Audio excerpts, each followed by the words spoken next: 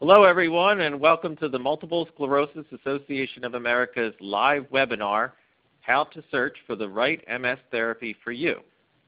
My name is Peter Damiri.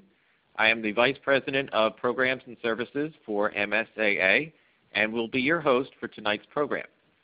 I'm looking forward to having a great presentation and very honored to have a top MS expert here tonight to present on MS and MSAA's search program. At this time, I'd like to introduce our guest presenter, Dr. Carrie M. Hersh. Dr. Hersh is an MS neurologist at the Cleveland Clinic Lou Ruvo Center for Brain Health in Las Vegas, Nevada. Dr. Hersh has presented her clinical research at numerous national meetings and has also published many articles on multiple sclerosis. Dr. Hersh, thank you for being here and welcome to the program. I would also like to thank our supporters of the MSAA Search Initiative. Tonight's webinar, as well as other search projects, have been made possible with the support of EMD Serono and Sanofi Genzyme. Tonight's webinar will be archived on our website along with a copy of the slides within a week to 10 days. In addition to the webinar, MSAA provides a wide array of programs and services designed to improve the lives of people with MS today.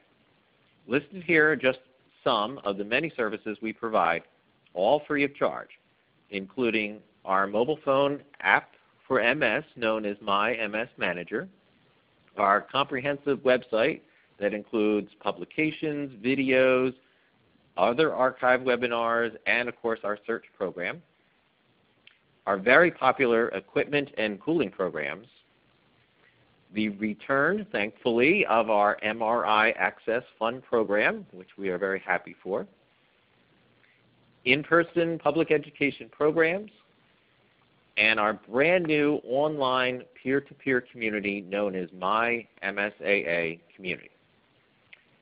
Now these are just some of the many programs MSAA offers, and I invite everyone to go to our website at mymsaa.org or give us a call and participate in our programs and services.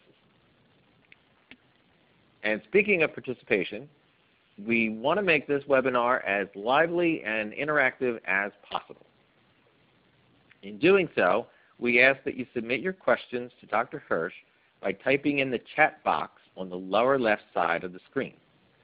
We ask that your questions are general in nature so they can apply to the group rather than being very specific to your particular medical situation. We hope to dedicate the last 10 or 15 minutes of the program toward Q&A. I will collect the questions as they come in and try to get as many answered as time allows. Please know Dr. Hersh will not be able to respond to those questions as she's presenting, but I will take them and ask as many as I can toward the end. We also ask if you could complete a follow-up survey at the end of the program, which is very quick, to let us know about this webinar and future topics of interest that MSAA could host. Now just a note on the technical side. If you are experiencing any technical problems with the webinar, you can use the chat box that I mentioned in uh, responding to the moderator that we have for the program. So we have an online moderator with us for the entire program, and that moderator will respond to your chat if you're having issues technically related, whether you have an echo sound or you're not getting a connection or you've been bounced and you have to log back on, anything in that regard, please type it in the chat box and the moderator will see it and respond to you. And just one last reminder that the webinar, again, will be archived soon and posted for a later date. So at this point, I am very happy to turn the program over to Dr. Hersh and begin. Okay, well, first of all, I would like to thank the Multiple Sclerosis Association of America for inviting me uh, to give this very important talk to you all today. And I would also like to thank the participants for taking time out of their very busy schedules to listen in on this important topic. So uh, the objectives for today's webinar are one, to explore the changing landscape of multiple sclerosis looking at both uh, current and future treatments that are on the horizon. Uh, we're also going to discuss the importance of treatment adherence and compliance, why it is so important for folks who are being treated for MS with disease-modifying therapies, and making sure that they are taking their medications consistently and appropriately. Uh, we are also going to look and discuss today's doctor-patient relationships and how both sides can work together in determining the best treatment for folks with MS. And lastly, but not leastly, learn about MSAA's search program, which can help your decision to choose the right MS therapy for you. So let me uh, introduce the uh, current landscape of multiple sclerosis and how it has changed over time and what makes the field of MS so um, exciting at this point. So before 1993, there were no FDA approved medications, meaning no commercially available medicines for the prevention of MS. And as you can see based on this um, uh, picture of the slide, the MS landscape looked very barren indeed um, there was a very limited approach to treating symptoms and managing the disease. And as I had mentioned, there really weren't any good therapies that were available in preventing worsening of the MS, the progression of the MS, and preventing disability over time. And there really weren't any consistent uses of rehabilitation services simply because it was not very well understood what kind of benefits they provided to folks who were living with MS. But because of the limited options at that time, there were some general uh, practice advices that were given to patients. And those included go home and rest, not, don't try to do too much, um, don't get exposed to the heat because we understand that the heat can make your symptoms feel worse. And even surprisingly, you may want to consider not having children. So the advice that was given some time ago was a little bit antiquated. Certainly uh, we have uh, changed the way that we approach the treatment of MS considering the amount of research that we've been able to do and of course our anecdotal experience with how folks do in the clinic setting. So we have certainly made some excellent strides in the growing field of MS. Since 1993, the barren desert has been transformed into a fertile, growing landscape. And I actually like that allegory because we are one of the fastest growing areas of medicine there is in terms of treatment of MS and how we manage our patients in clinic. So one of the ways that we have flourished so consistently is because there have been more than a dozen um, FDA-approved treatments for MS with more under development. So we actually have a slew of disease-modifying therapies that are either coming out into commercial availability shortly or we have a lot of provocative therapies that are currently being studied in clinical trials to test how effective they are for the treatment of MS. Uh, it's also flourishing because we have adopted a more comprehensive approach to treating and managing the disease with an increased focus on rehabilitation and health and wellness. And we understand that even though using disease-modifying therapies where appropriate are pivotal in treating and managing MS in the long term, there are other things that folks can do to increase their quality of life and also increase their function. Those things include physical therapy, occupational therapy, and of course taking care of yourself uh, altogether. And then of course expand uh, symptom management treatment and strategies. So meaning we have been able to put together a more comprehensive way of treating pain and tingling and walking problems and fall prevention. So as I had uh, talked about previously, there are new long-term treatments that are on the horizon. So one medicine in particular that is currently being studied in clinical trials is a medication called siponimod or BAFF. And this is actually an oral medicine, a medicine that someone takes by pill that is very similar in structure and function as fingolimod, which is otherwise known as Gilenya. And this particular uh, tr uh, potential treatment strategy um, looks to be so promising is because it has shown some very positive benefits preliminarily in folks with secondary progressive multiple sclerosis.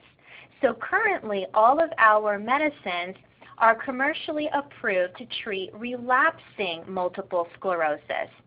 And this medication may actually be one of the first of its kind to treat the secondary progressive MS folks. And all of this data was recently announced at our European meeting in London just last month, showing a positive benefit in delaying disability progression in those with secondary progressive MS in a phase 3 clinical trial. So we um, are expecting great things from this particular uh, treatment strategy. Another strategy that looks like it's going to be quite exciting is another medicine called ofatumumab. And this is a medicine that is given by an injection underneath the skin once a month that functions very similarly to medicines that are already used for MS, one called rituximab, and another medicine that we are waiting with bated breath for it to become FDA approved and commercially available to our folks with MS. And one of the reasons why this is an exciting medicine is because we find that it has demonstrated um, a significant reduction in the number of relapses and new MRI lesions in early phase 2 clinical trials, and we did not see any unexpected uh, safety findings. Um, it has a more human structure to our own proteins and the way that our cells interact.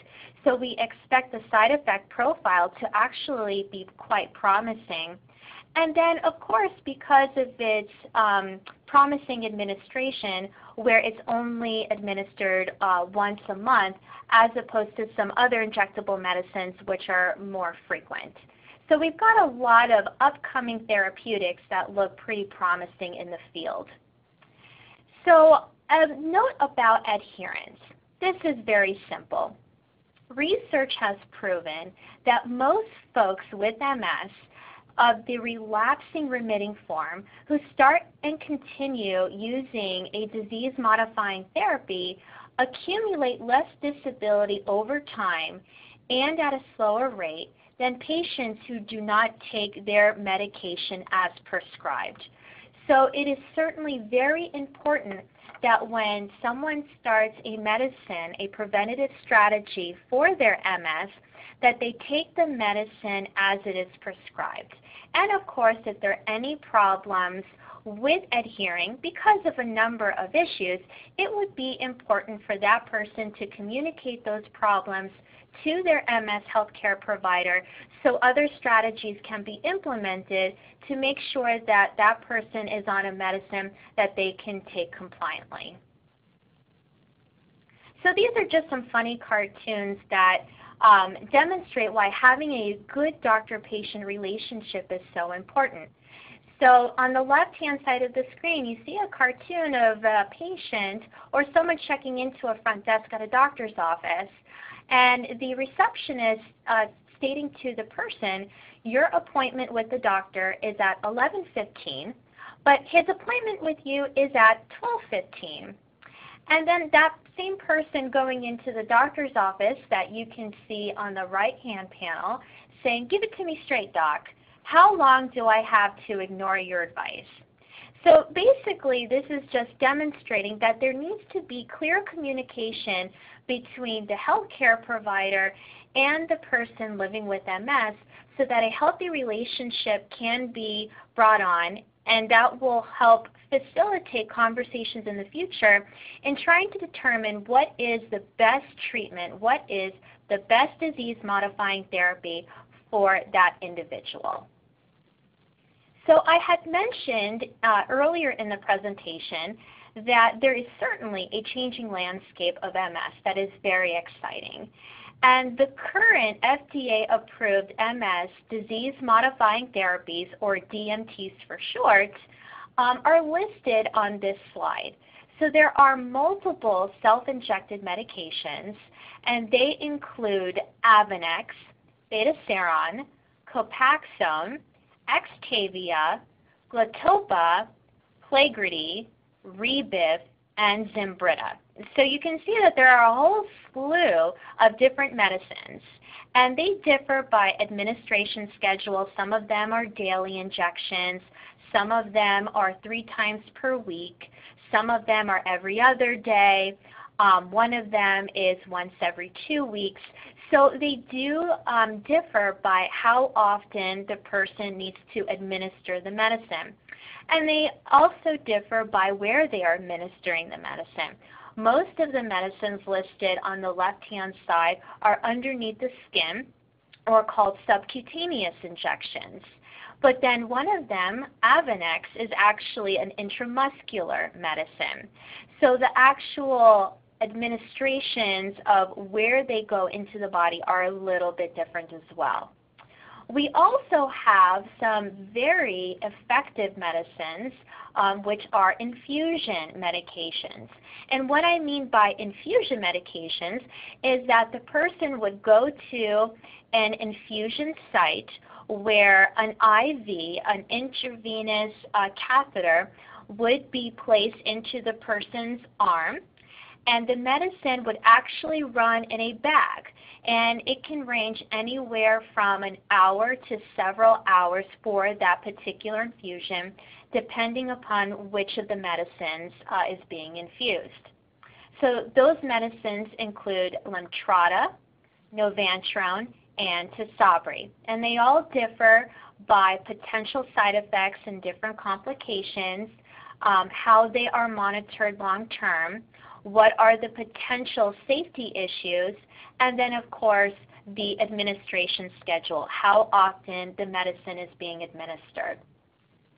And then lastly, we have oral medications as well. These are medicines that are taken by pill. Two of the medicines, Aubagio and Gilenya, are once-a-day pills, and Tecfidera is a twice-a-day pill. All three of these medicines were FDA approved not until 2010, so they are fairly new medicines. They also differ by different side effects and long-term complications, and of course the administration schedule is a little different as well. So as you can see from this slide, there are multiple medicines that are available, so this is where the conversation with the healthcare provider is very important to try to decide what is the best medicine for, for you and then how to have an open and honest conversation with your healthcare provider so that your concerns are actually being addressed. So I think that this uh, medicine um, might be a little out of um, um, um order, but um, this is another um, new long-term treatment that's on the horizon. This is ocrelizumab. Um, ocrelizumab is one of the medicines that I had alluded to that we anticipate will be approved for commercial use either by the end of this year or the beginning of 2017. The reason why this medicine is so exciting is because it has a very similar structure to rituximab, which is a highly effective potential treatment strategy off-label for multiple sclerosis, but it's also the first of its kind to demonstrate positive benefit in patients with primary progressive MS. And this is something that has never been done before. And so we are very excited that there is the possibility of a, of a treatment strategy not only that is excellent for folks with relapsing forms of MS, but with progressive forms of MS too. Now this is to say that the ocrelizumab uh, will potentially be FDA approved for primary progressive MS, which means that these folks essentially had a progressive course of MS from the very beginning as opposed to having an initial relapsing remitting course and then eventually becoming more progressive over time. That is secondary progressive MS. We do not currently have sufficient data to support um, its potential insurance approval for secondary progressive MS, but we are hopeful that we will be able to maybe see some benefit in observational studies. So we have yet to anticipate where the secondary progressive folks will lie in terms of using the ocrelizumab.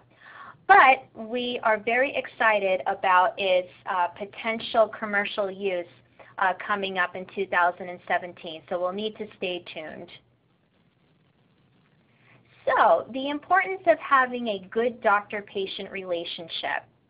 So given the complexity of MS, the doctor and patient must work together to understand the problems and find successful solutions. So this is done in many different ways.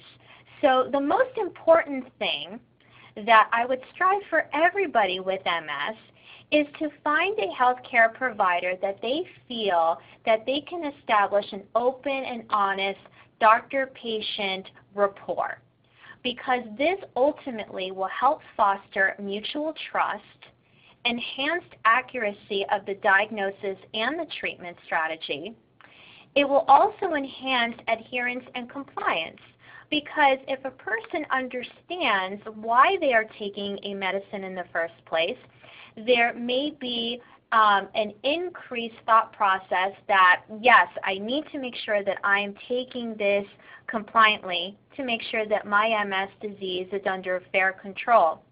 But it's also important for the doctor to have an open and honest relationship with you because they need to also hear out the patient if they're saying that they're having problems with side effects, tolerability, then that means that that medicine may not be for them because it's going to uh, possibly impact their ability to take the medicine as prescribed.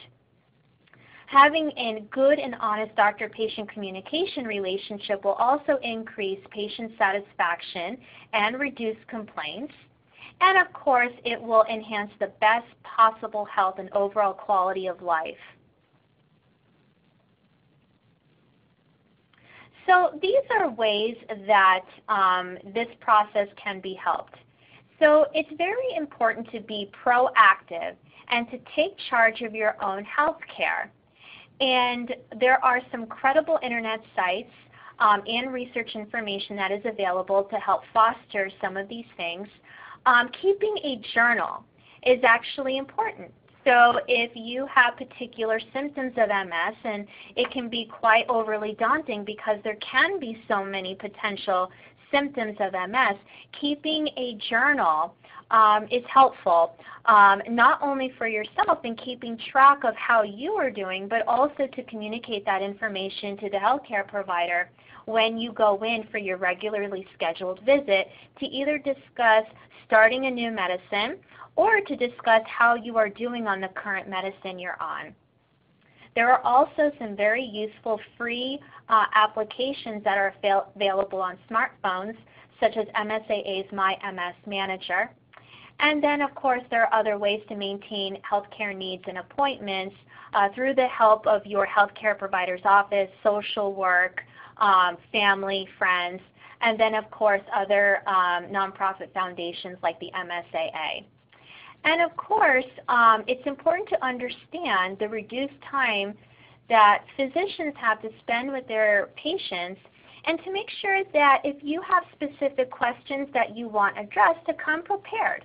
Come with a list of questions, of priority questions that you would like to address at your next visit so that way um, the reduced amount of time that you have with your doctor can be well spent. And then using MSAA's search model to discuss your MS treatment options and make an informed decision, which is essentially the topic that we're going to be talking about this evening. So what is search? So MSAA's search acronym um, helps you remember, organize, and of course prioritize important questions to discuss with your doctor or your healthcare team. And each letter represents key areas that need to be discussed when you are looking for the most appropriate MS treatment, hence the acronym SEARCH.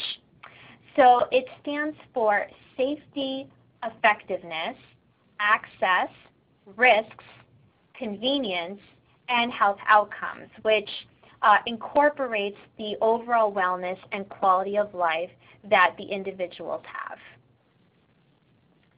So let's discuss safety. So these would be some suggested questions um, that you could possibly come in when you are either discussing a new disease modifying therapy or if you have questions pertaining to the one that you are currently on. So some of these questions include, what are the long-term safety profiles of these FDA-approved DMTs? So this is certainly a big one. And especially in folks who have other comorbidities or other medical problems that you feel or your doctor may feel may impede or impact the use of a certain medicine, this would certainly be the time to bring that possibility up. Another important question is what tests are required prior to taking or while receiving certain DMTs. And of course this is important because you will probably need to start prioritizing um, when you need to get these tests done, how often you need to get these tests done, and then of course the timing of when you see your healthcare provider and having those test results available so they will be able to um, adequately assess the safety of you continuing the current medicine that you're on. Another important question is how will DMTs interact with my current medical treatments or other medical conditions and any complementary and alternative medicines.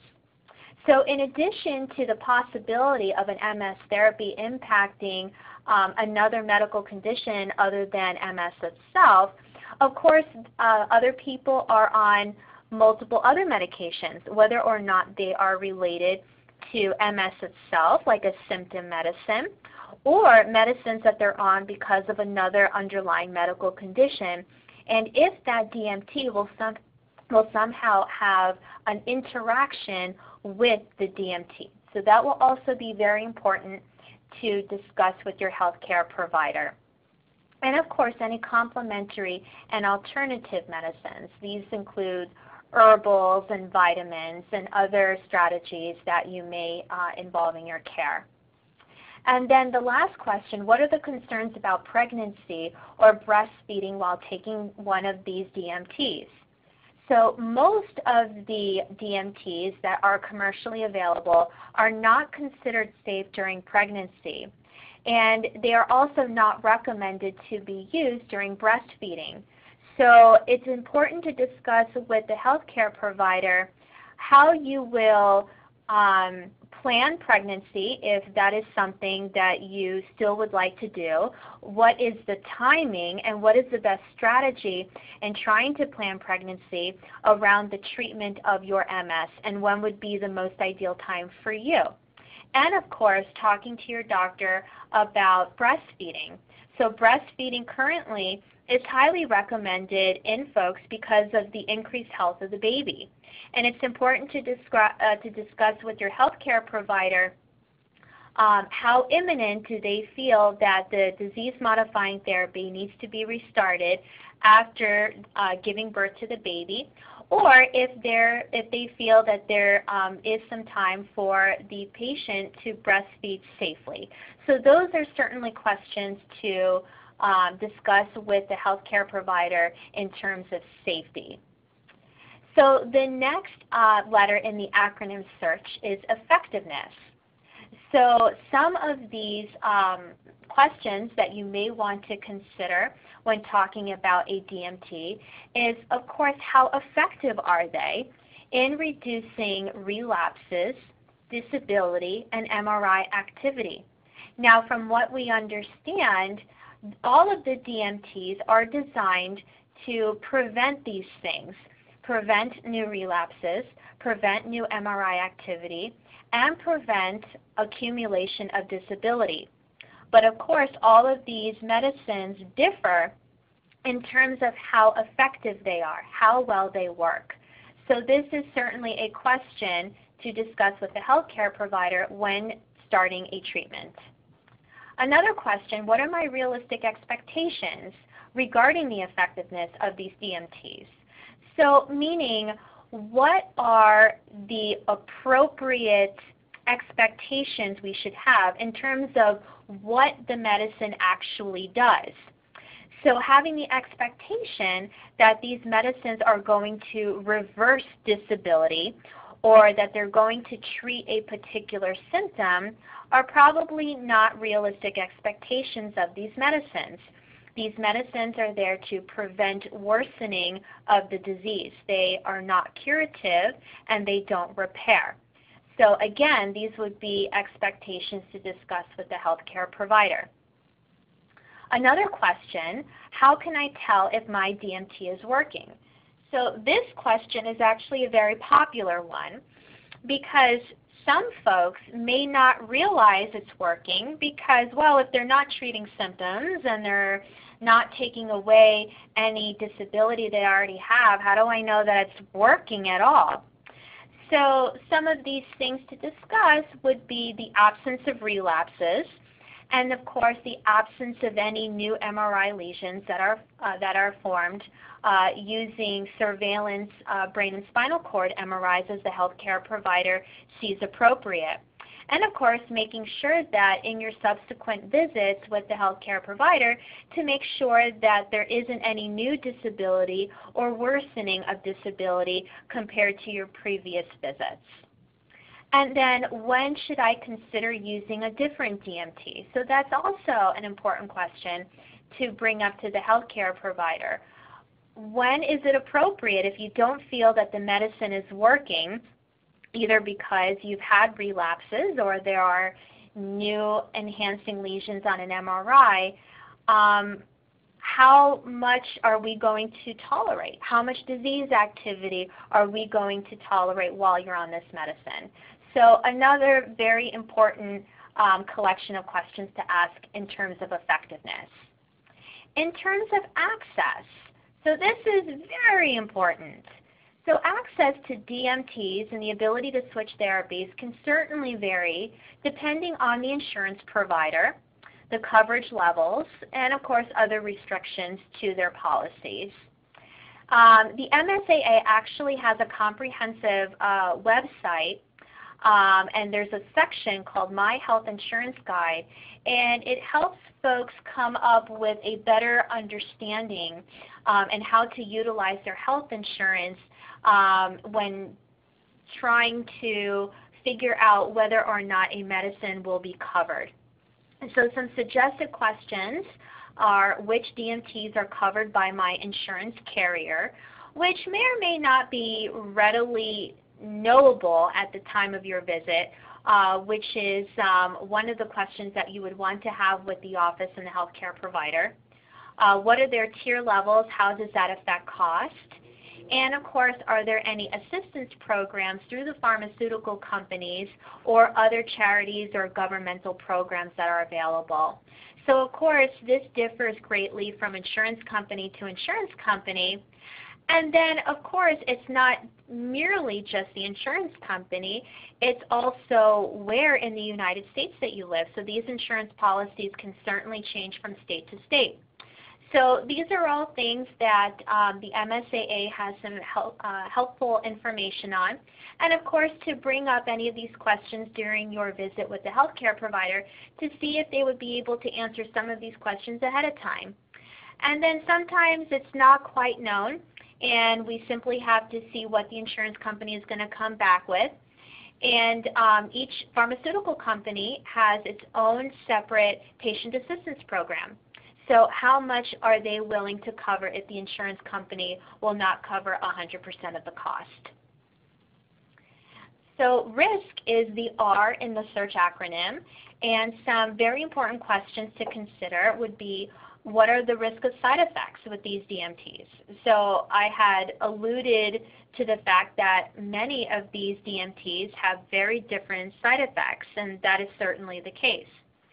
So if there are particular side effects that you are concerned about, then this is certainly something to bring up with your healthcare provider when you're talking about a treatment strategy. And not only what these side effects are, but how frequent are they and how severe are they? Those would be some important things to know as well. And then of course, if you develop side effects, what can you expect in terms of how soon should they go away? How, how soon should they resolve on their own? And with some of the medicines, we have a good understanding that potential side effects are not permanent that they tend to only be there in the beginning part of transitioning onto the medicine. But other side effects may actually be um, quite variable, and we don't really know when and if they're going to uh, come up at all. So these are certainly things that you would want to talk uh, with your healthcare provider and their team in terms of what are the expectations for that particular person. And of course, if you do develop side effects, can they be managed? Are there other medicines that can be tried? Are there other strategies that the person can take to try to reduce the risk of those side effects? And of course, what is your risk tolerance? How do you balance potential risks and side effects against the potential benefit of the medicine? So some of our newer medicines that have found to be highly effective for the treatment of MS, they certainly have potential side effects and complications. But what is the tolerance level? How are you going to tolerate a potential side effect or risk compared to the very real risk of the MS continuing to worsen and potentially lead disability? So again, this is a risk tolerance discussion that needs to be had between you and the healthcare provider. Convenience. So how are the DMTs administered? So are they injectables underneath the skin like an insulin shot? Or are they through the muscle through an intramuscular injection? Are they a pill that you take once a day? Is it a pill that you take twice a day? Is it an infusion that you go in once a month? Or is it an infusion that you go in five times in one uh, bout in a year? So really trying to talk about how often you are administering and what are the expectations for you in terms of what you feel you will be able to tolerate. That will be a very important discussion point with your MS provider. And then that also leads into how often do I take the DMTs, which we just covered. And then another question, must I have regular tests or visits to other healthcare providers to monitor the effects of my treatment? Well, of course, that is very important to be had because you'll want to have an idea of how often do you need to go to either your local lab or to your local hospital or your doctor's office to get blood work done or urine samples done, and how frequent does that need to be done in order to um, make sure that you, the safety is uh, being surveyed appropriately. And then the last letter of the MSAA's search acronym is health outcomes. So some very important questions to consider. How will my general health and quality of life be affected by these DMTs? So this is also very important. And it's important because as a comprehensive MS provider, our goal obviously is to prevent worsening of MS disease, but it's also making sure that your quality of life is not being impacted. and that we are also making sure that your other health issues, so if someone has high blood pressure or high cholesterol, that those uh, other medical conditions are being appropriately managed by your family doctor or your internal medicine physician. Making sure that you are remaining tobacco free, not smoking. Making sure that your vitamin D levels are well supplemented because we understand that vitamin D can also lead to worsening of MS and disability. So all of these questions will also be important to have with your healthcare provider in determining whether or not a certain DMT would be appropriate for you. And then, of course, we want to look long term. It's not just how is my MS going to function today and next week, but what am I going to look like in 5 years, 10 years, 15 years, 25 years down the road? What are my expectations with this particular DMT? And of course, will taking a DMT lower my immune system and cause other problems? So there are some DMTs available that modulate the immune system and can certainly have an impact on certain white blood cells that may potentially have an impact on your immune system.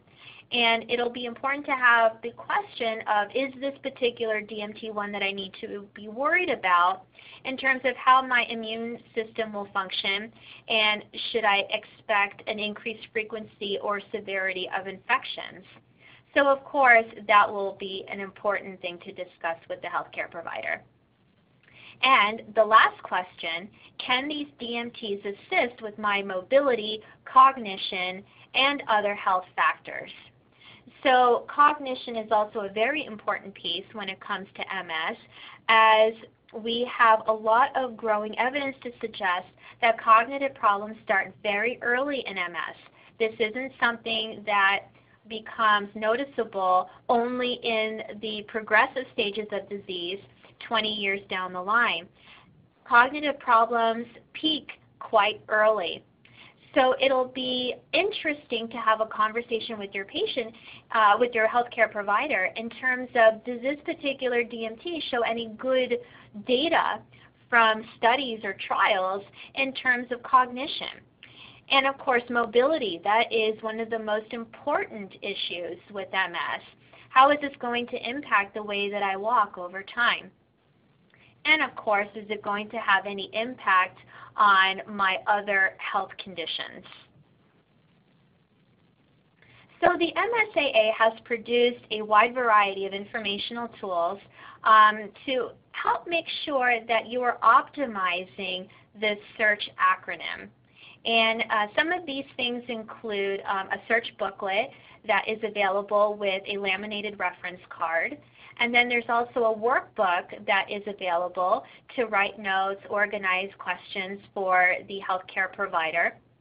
And there is an MSDMT chart of the medications that are currently available and a resource guide listing uh, potential organizations and pharmaceutical assistance programs, which um, is actually quite helpful.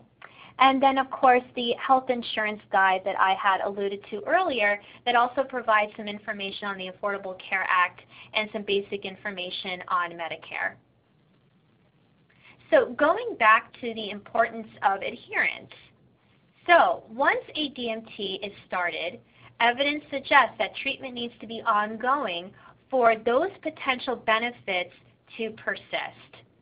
And then any gaps in treatment or folks who you know take one dose and then they skip the next one, they remember the next one, but then they skip the next two, it can certainly have um, a significant impact in how the medicine works and can certainly predict an increased risk of relapses and progression of disability because it's not being taken appropriately. And understandably, adherence can present certain challenges over time. Uh, so many of those challenges can be managed uh, to keep folks on course.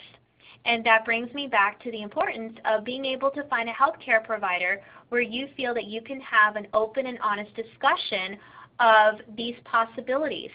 So if you are not taking your medicine um, as it is prescribed, it is important to be honest with your healthcare provider and feel that you can be honest with your healthcare provider to discuss ways that we can minimize those issues and prevent them altogether. Because if the healthcare provider is under the assumption that you are taking the medicine compliantly, then they're under the assumption that the medicine should be working at its optimal best. So, some helpful strategies to help build toward ongoing treatment adherence. They include managing the side effects. So sometimes taking over-the-counter medications to manage temporary flu-like symptoms that some folks can have with some of the interferon medicines like Avonex and Plegridy and Rebif. Ice down and rotate the injection sites because sometimes the injections can be painful. So knowing a strategy to help minimize those painful injection sites. Or if there is the availability of an auto-injector instead of using a pre-filled syringe. That might also be helpful in trying to manage some of the side effects of the injectables. Understanding expectations. So again, discuss the realistic expectations with your healthcare provider give the DMT at least six months to a year to have a optimal treatment effect. And realize that if you don't necessarily see results, that it actually might be working. That actually means that it, the medicine is doing what it's supposed to do because you're not having, having any more relapses or new disability. So not necessarily quote unquote seeing results might not necessarily be a bad thing learning to adjust. So setting a schedule and using calendar reminders or sticky notes to help remember to take the medication. Those are important strategies. So maybe putting a calendar up on your refrigerator or keeping a calendar in an area of the house such as the kitchen near the coffee maker uh, where you are going to frequent um, every single day and making sure that it is in a viewable place so you will not forget to take a look at your calendar or to remember to take your medicine. Um, there are also alarms that you can set, either a clock radio or if you have a smartphone, setting an alarm on your phone. Proper training is needed on self-injection techniques that can be pro uh, provided by the individual pharmaceutical companies.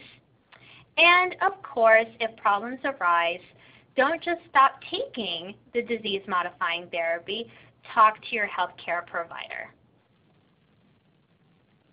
So a couple of take-home messages.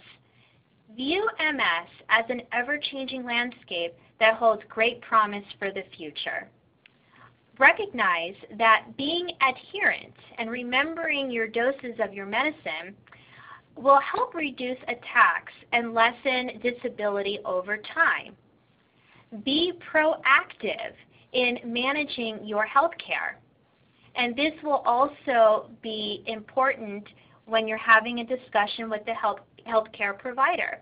That it's not necessarily just being a passive listener and just doing what the doctor says is best because they're the doctor and they know what's best for you. No, it's about having a conversation with the provider because this is your life and your health and you should have an active participation in making decisions about your treatment strategies and most importantly your DMT. And of course, that goes to show having a good doctor-patient relationship is highly crucial in making sure that those needs are met. Use search to help discuss MS medications with your doctor and ultimately selecting the therapy that is right for you. So thank you very much for your attention. Well, thank you, Dr. Hersh. That was a great presentation, uh, encapsulating our search program so very well and, and a lot of great helpful information, so thank you.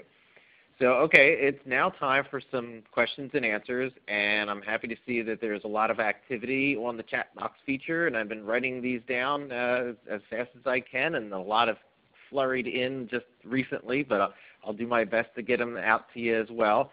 Uh, the first question is, I like this way of using search to think about the treatments, but what if I have too many questions for the office visit? How do I get them all answered? That is actually an excellent question, and that is a common uh, concern that is brought up um, in, in clinic. Um, and that's because MS um, is a very complex disease process, and there are multiple uh, symptoms that can develop. Um, there are multiple discussion points to have in terms of just the DMT itself, and using the search acronym, you can see how that can be a lengthy discussion. But also, what about other questions like how do I treat this symptom and where's the best um, physical therapist in town? So there are a lot of other things to discuss. Um, because um, the time management for healthcare providers um, can be quite challenging, some healthcare providers are only seeing patients in a 15-minute slot. So if those questions cannot be answered, um, there is always the possibility of scheduling another follow-up visit with that healthcare provider. Another strategy is to prioritize questions and make sure that the most important questions that you have, you ask first. You ask first. And then another point is that if you are uh, having your MS being cared for in a comprehensive uh, neurology or MS center, and there are advanced practice clinicians available or other nurses who can help answer questions in an education format, that might be something that's worth asking the healthcare provider if you can make a separate appointment for that. Great response. Uh, just before I get to the next question, I do also want to send out a reminder to folks because a lot did put on the chat box about the availability of this. This will be posted on our website within a week to 10 days as both a recording and then the slides as a PDF file that you can download. And as the, the presentation mentioned, we have a whole section on our website on search with tools. We have the, the brochure, we have a chart, we have a workbook. This slide deck will be there with the webinar, so we encourage people to go to our website to get that information currently, and then with check back in about a week to 10 days, and we'll have this up there as well. Uh, the next question is, and we boy we get this a lot, not only just in this program, but on our helpline as well. With health insurance the way it is, should I look at my insurance policy first and then talk to my doctor about treatment options, or talk to my doctor first and then check on insurance? Sure, that is a very common question that I get as well. So um, what I pose to the patients is actually to do the latter point. Um, to make sure that you have the discussion with your healthcare provider first in terms of which DMT you both feel is the best treatment strategy for you. And then to go through the motions of insurance approval and whether or not the insurance will approve all of it or if they will only cover a portion of the cost and then if there are um, available patient assistance programs uh, to help cover the remainder of the cost.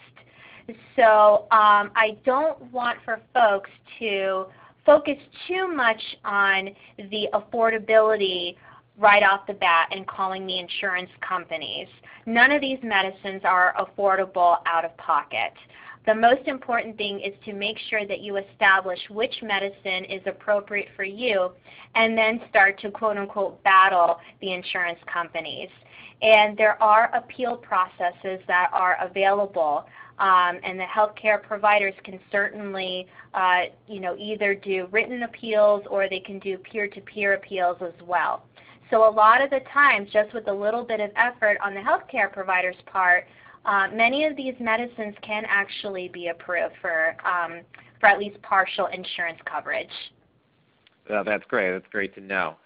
Uh, next two questions kind of talk about the timing of being on these medicines. The first question is, how long should I take DMTs? Indefinitely? That is a great question. So not every, well, first of all, let me preface this by saying that there are no folks living with MS who are exactly alike. everyone is different. Everyone has a different disease course. They have different risk factors for disease progression or worsening of disability. They have their own medical conditions that might actually impact the way that MS um, functions over time and how quickly it can progress over time. So no two people are alike. And disease modifying therapy, as far as the medicines that are currently available, are mainly for the relapsing forms of MS. So generally speaking, I recommend that disease modifying therapies are used during these more inflammatory stages of the disease in the earlier parts of the MS disease course. But then ongoing, once person reaches a certain age where we think that MS becomes less inflammatory and therefore we think that the MS may have not so much additional benefit with the DMT, it may actually be worthwhile in doing a drug holiday trial and seeing if the DMT can actually be taken off. And of course it depends on how the person is doing clinically and of course what their MRI looks like.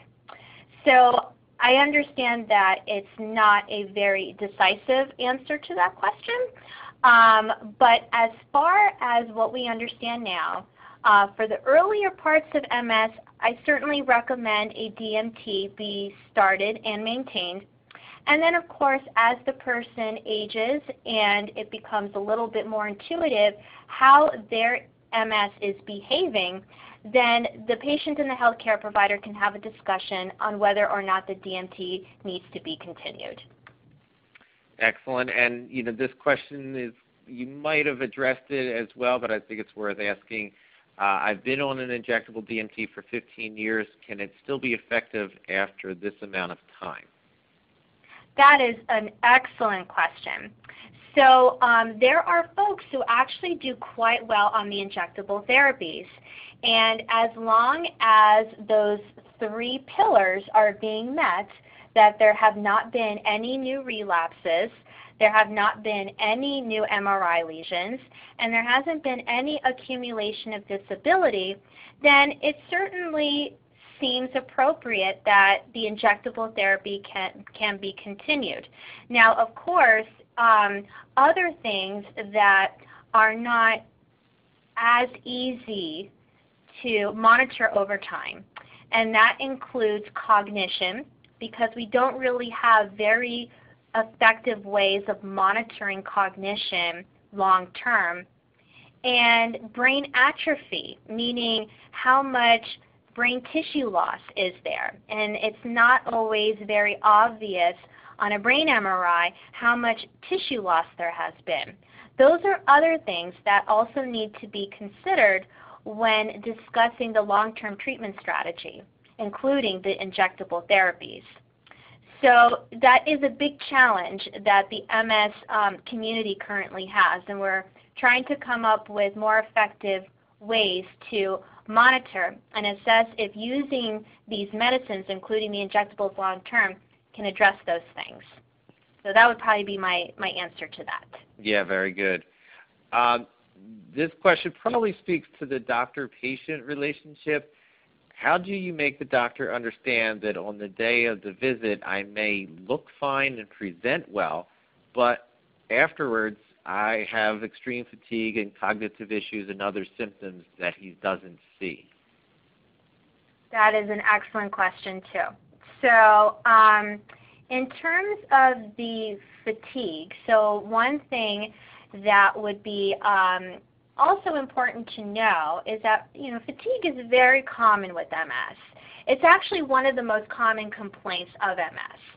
But fatigue is not only directly related to MS. There are other things that can certainly um, uh, contribute to someone's fatigue levels during the day. And there are a number of factors. Um, sleep apnea, um, interrupted sleep at night because of um, needing to get up and pee or being in pain all night and therefore the sleep is interrupted. Uh, vitamin D levels being uh, deficient, um, depression, uh, thyroid dysfunction. Uh, so, you know, I could go on and on, but there is a very large list of other reasons why a person can be fatigued other than the MS itself. And in terms of the cognition, that's an excellent question. So um, one of the most common complaints in addition to fatigue is the cognitive piece. And you know, until we have a very uh, good, effective, and validated way to follow um, cognition over time, it's a little difficult to establish how much of an impact the MS is going to have on it long term.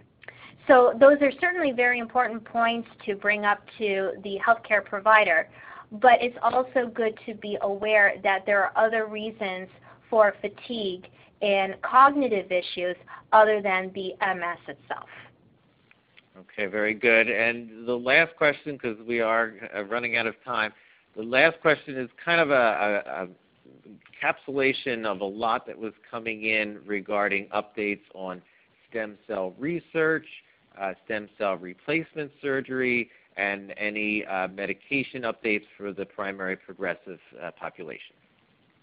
Sure. So um, I'll answer the uh, primary progressive question. So um, I had alluded to um, one of the um, upcoming treatment strategies, was, which is ocrelizumab, um, which did show um, positive benefit in those patients with primary progressive MS.